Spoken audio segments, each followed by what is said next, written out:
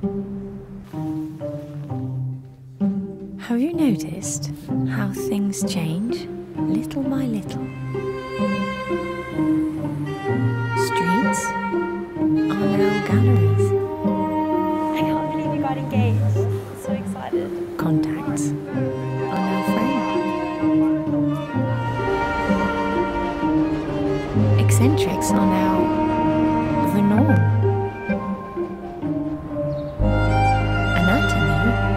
is now technology. Dark is now light.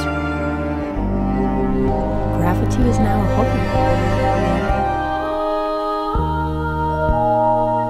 Nowhere is now somewhere. And GDF GDFC is now Engie. Because our world is changing, and so is our energy.